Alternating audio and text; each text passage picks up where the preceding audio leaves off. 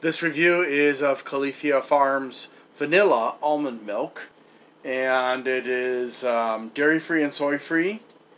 Of course it does have almonds which there are some downsides to that just like everything else. Um, it is vegan, kosher, carrageenan free, gluten free, soy free, BPA free packaging, non-GMO. Um, you do have to shake it up of course. Um, and of course it does have almonds in it. Here, um, here's the blurb, and there's the information I just read to you. And there are the nutrition facts and the ingredients. So, shake, shake, shake.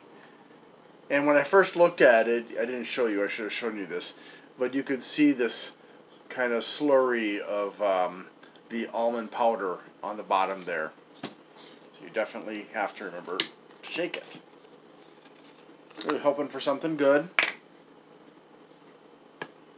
We'll see how it goes.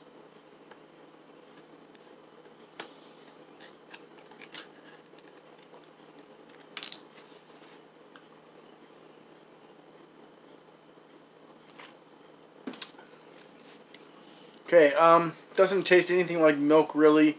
Um, you can definitely tell that it, it comes from a plant. Um, it's not very sweetened. Um, it fortunately has no saturated or trans fats, which is great.